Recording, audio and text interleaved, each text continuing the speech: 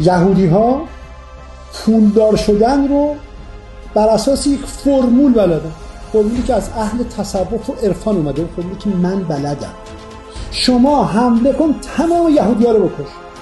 دوباره پولدار میشه پس چرا باید یک سیاست مدار و یک دیندار فرمول ها رو بگه؟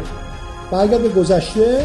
اگه یادت باشه خب تو کتاب های تاریختون نوشتن تورات یک کتاب پولساز.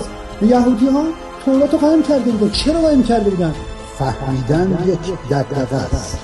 ولی دقدقه فهمیدن خیلی مهمتر از فهمیدن است.